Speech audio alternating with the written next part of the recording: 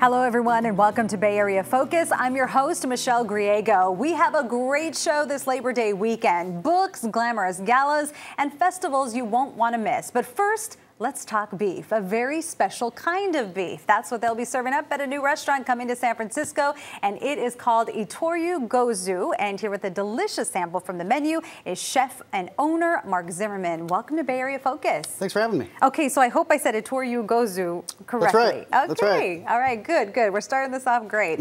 so you brought a very lovely dish with you, but first let's talk about the restaurant. This is exciting for you. Sure. Uh, you have a lot of experience with food and being a chef, but this is actually your first restaurant you're owning. That's right. Yeah. That's right. Very exciting. So congratulations for that. Thank the you. restaurant opens up in early October. That's right. Okay. And so you specialize in beef. Yeah, it's uh, Wagyu beef. So over over the past 10 years, I've been doing a lot of research and working in Japan with farmers, and so we're kind of showcasing like the nuance and the versatility of the, the breed rather than just kind of a, a steakhouse characteristic. You also have a zero waste program. Yeah, yeah, we're working all the way down to bones and making charcoal from bones. We're using a lot of the fat, a lot of the lean meat, uh, all those kinds of things as far as we develop the menus. Why is that so important for you? Because the animals die, right? Um, a lot goes into these animals. They're they're dying for us to eat, and I think it's disrespectful if we don't consume all of it. So we have a lot of foodies in the Bay Area, of course. But for people out there that may not know the difference between Wagyu beef, which is pretty special, um, and just a regular old steak. Sure. Wagyu, I mean, most of the meat that you're, you're eating in the United States is Angus beef. Um, Wagyu beef comes from Japan. Uh, generally, there's some Americans that are breeding it, but it's a Japanese breed. It's got a beautiful predisposition to, to marble. Um, the, the fat content is even a little bit different, where you're talking about a lot of monounsaturated fats. Uh, and it's really easy, especially for a restaurant like us, to be able to utilize everything. Um, most pieces can be just cut and grilled similar to steaks. All right. And what did you bring with Yeah. you today? This looks lovely. So this dish is part of um, a 15 dish tasting that we do on the menu, and, and as I said before, everything is kind of focused with the, the nuance of the animal. So we've got a corn puree that's been made with uh, Brentwood white corn. There's a little bit of rendered wagyu fat that's kind of folded into that, so you've got this this roasted beefy flavor.